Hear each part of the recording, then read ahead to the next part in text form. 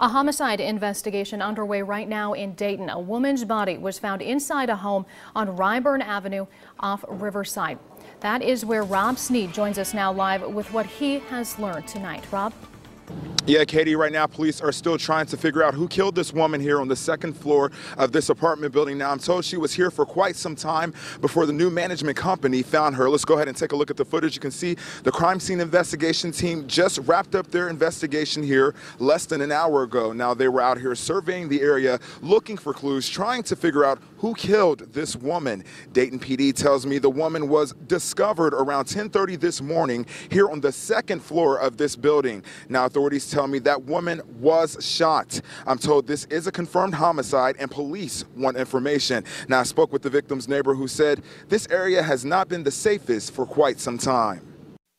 Over the last 18 months, two years, it's been getting kind of, you know, rowdy break-ins, burglaries, you know, drug activities, things like that. And right now, authorities aren't telling us the name of that victim, but what we do know from a neighbor is that she is a mother of a small child. Reporting live in Dayton, Rob Sneed, 2 News.